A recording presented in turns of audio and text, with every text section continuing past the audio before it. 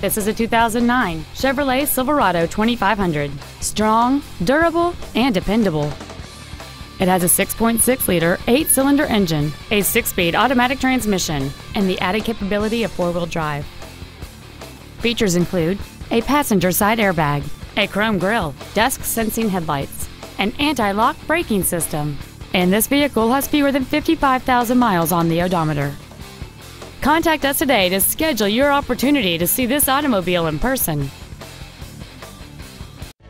Auburn Chevrolet is located at 1600 Auburn Way North in Auburn. Our goal is to exceed all of your expectations to ensure that you'll return for future visits.